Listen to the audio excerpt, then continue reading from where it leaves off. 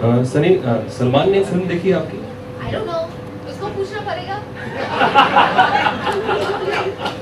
और आपकी ख्वाहिश थी कि आप सलमान के साथ या तो उनकी आपकी ख्वाहिश है कि आप सलमान के साथ काम करें तो कुछ कहना चाहेंगी कैमरे के सामने सलमान के लिए? अगर आप मुझे आपकी मूवी में कैस्ट करना मैं अवेलेबल हूँ।